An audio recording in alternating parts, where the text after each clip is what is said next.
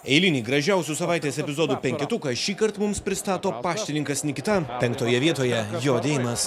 Dovanėlė Balašovas. Oi, na čia tikras modelis Nikita Balašovas po šios situacijos, po šio dėjimo.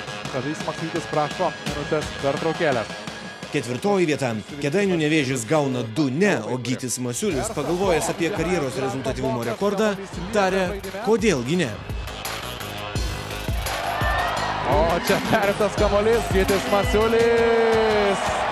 Tiesiog nuostabu, kokia atmosfera Klaipėdo Švytur arenoje.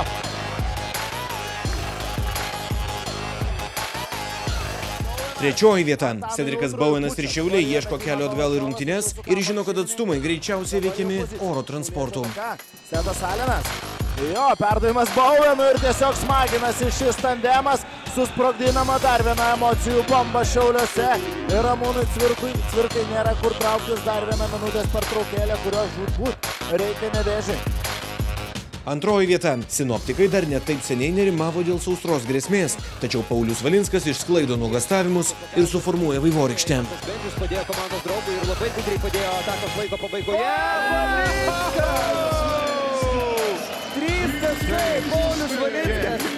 nepataikė sezono pradžioje, pataiko viską antroje pusėje. Čia geresnis metimas. Pirmoji vieta. Artėjant šiltajam sezonui nepamirškite paruošti kūno vasarai.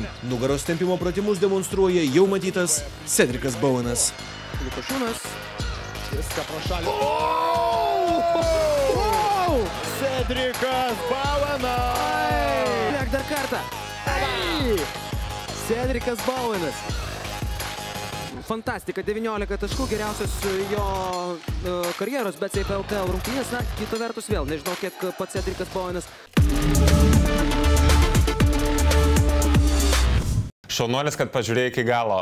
Sek BetSafe LKL YouTube, Facebook'e ir Instagram'e.